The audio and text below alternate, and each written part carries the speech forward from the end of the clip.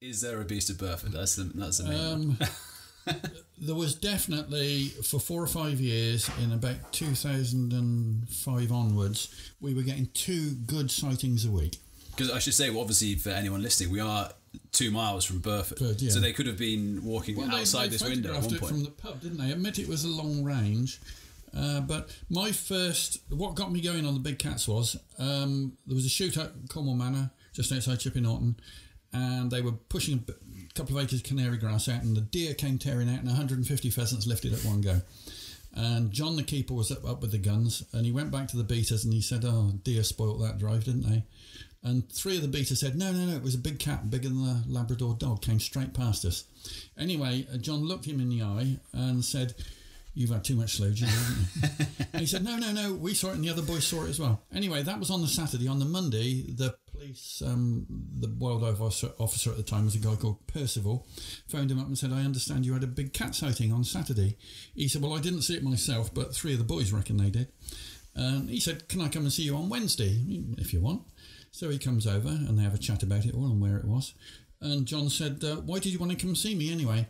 He said, On Saturday morning, at the same time, a mile away, just along the main road from the Crosshand pubs going towards Stow, a motorist record, reported a puma crossing the road in front of him. So you had the two um, sightings on the same day in the same within a mile of each other.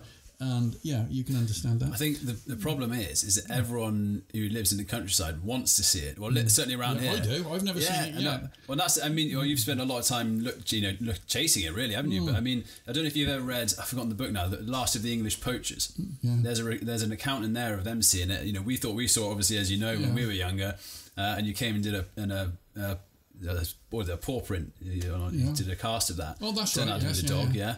And everyone, everyone you talk to around here thinks they've seen the Beast of Burford, but the problem is, is no one ever. It was before smartphones, really. Well, or at least it's been good seen just the other side of the road here. Uh, Tracy Coombs saw it and watched it for 20 minutes, working its way along the hedge. Not munching a Uh, sheep. the other thing is, uh, these corroborated sightings. Jane Bettridge at Hobbs Hole Farm at Great Tew, she was driving the combine. It was getting late in the afternoon, and she was coming down the hedge towards her.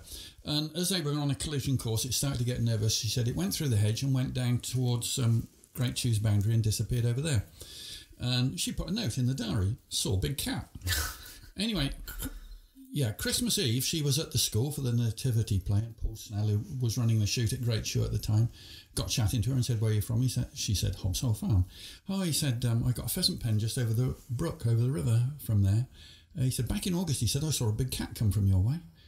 Uh, that's interesting. She said, um, "Do you know the date?" He said, "No, I don't, but um, it was a Friday." Anyway, she got home, she looked in her diary, saw Big Cat Friday the 23rd. so you had the two independent ones on, on the same day in the same place, and it just tied up nicely. Because well, I mean, people have seen deer in trees and stuff as well, haven't they? And that's Oh, sort yeah, of on the been- similar days when people have seen. I've got photos of muntjac that have been chewed, and that you can see that it pops the vertebrae apart and breaks a neck, which is classic big cat kill. And Yeah, um, yeah. some of them been a bit smelly because it's usually a few days later by the di- time the word gets around to me on the Bush Telegraph. But the gamekeepers knew I was interested in it, and they would ring me up. And uh, they probably slung the remains of this muntjac in the brambles, and I find out four or five days later, and it's a bit fly blown and smelly. But we always go and have a look, and we've had several like that.